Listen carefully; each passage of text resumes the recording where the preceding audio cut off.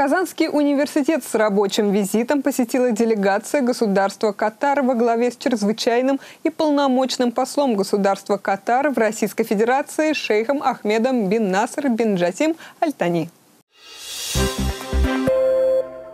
Визит в Казанский университет гости начали с посещения Музея истории. Здесь им рассказали об истории университета, его великих студентах и сотрудниках. Далее гости последовали в императорский зал, а также посидели за партой в Ленинской мемориальной аудитории. Затем делегация государства Катар проследовала в Голубой зал главного здания КФУ, где ректор университета Ильшат Гафуров презентовал Казанский федеральный университет гостям. До 2010 года университет был небольшим, всего было порядка 9 тысяч студентов.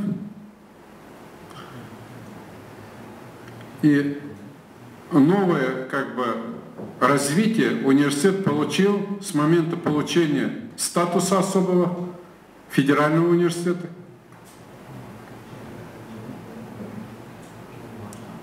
Таких университетов в нашей стране всего 10.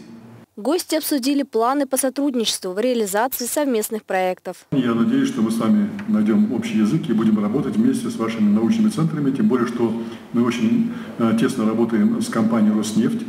Мы являемся э, опорным вузом Роснефти. Я знаю, что вот Роснефть создала научный центр в Катаре, и мы, и мы работаем вот э, с Роснефтью в этом плане тоже.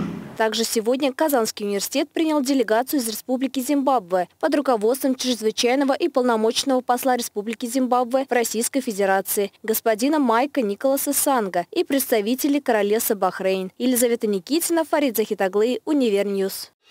Thank you.